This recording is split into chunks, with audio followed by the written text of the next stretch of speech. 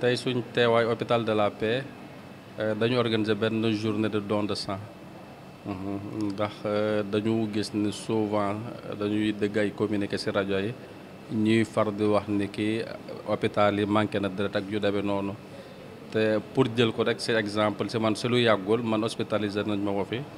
buñ ma hospitalisé woon euh, soxla woon naa deret ay nit a ñëwoon maye donc euh, ñu gis ni ki lu am solo la daal def ko ndax comme duñ koy far di waxee rek joxe deret mooy sauver des vies. waa pour lu concerné suñu groupe gi ndax lii groupe politique la euh, politique de développement la bii mooy suñ première édition ñu koy def. waaye du luñ fi bëgg a yemale ndax bëgg nañu collaborer ak banque de sang gi Euh, comme souvent bu ñuy joxe dañuy far dina ku joxe deret war nga toog ba xam ndax 3 mois xaw ma 4 mois donc à chaque fois ñu mën a joxe rek ñu programme pour mën a joxe. Je lance un appel à tous les jeunes du Sénégal en général en particulier les jeunes de la commune de Ziguinchor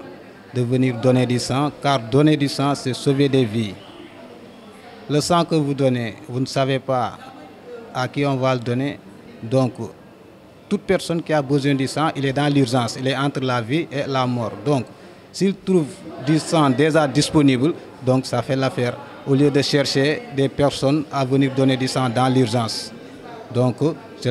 je, fais un appel solennel à toutes les jeunes de la commune de Ziguinchor de venir donner du sang de temps en temps.